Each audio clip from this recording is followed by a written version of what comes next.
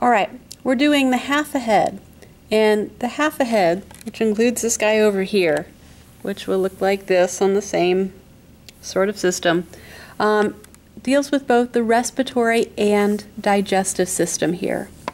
So starting out with the respiratory system, we have the opening for the external nares that lead into the nasal cavity. These bumps in the nasal cavity are the nasal conchae, which you write, might remember from 168 as being parts of the of being a bone to itself, the inferior nasal conchae, and the middle and superior being part of that ethmoid bone. We have the pharynx down here, which goes to the top of the esophagus and the trachea. This is the epiglottis in blue right here, that cartilage.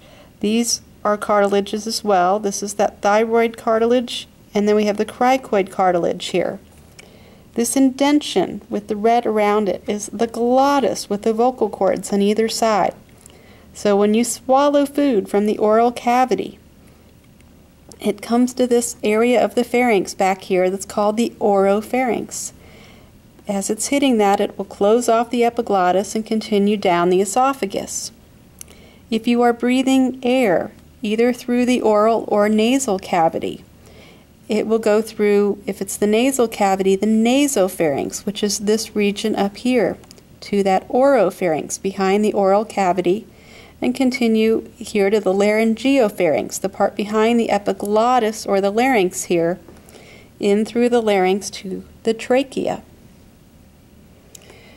The hard palate is the separation by bone between the nasal and oral cavity, so it is in white here.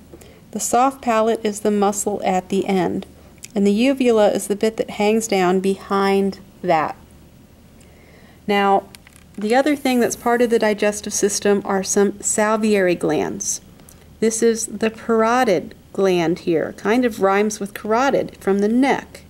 We have sublingual, which is this, and you're looking at this peaches colored material here underneath the muscle.